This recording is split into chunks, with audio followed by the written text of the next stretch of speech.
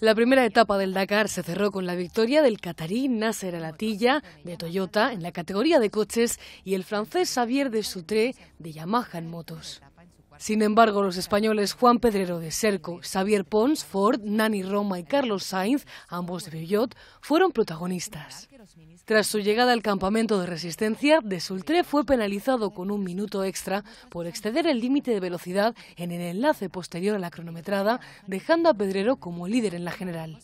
Nasser Alatilla se impuso en coches con un tiempo de 25,41 minutos, seguido de cerca por los españoles Xavier Pons, Nani Roma y Carlos Sainz.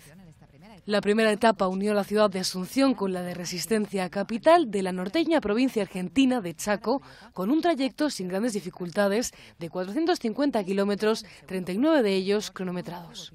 El especial comenzó en la localidad de Atirá, en el departamento de Cordillera, y se desarrolló por completo en suelo paraguayo y bajo un intenso calor, algo que pareció sentarle bien a los españoles.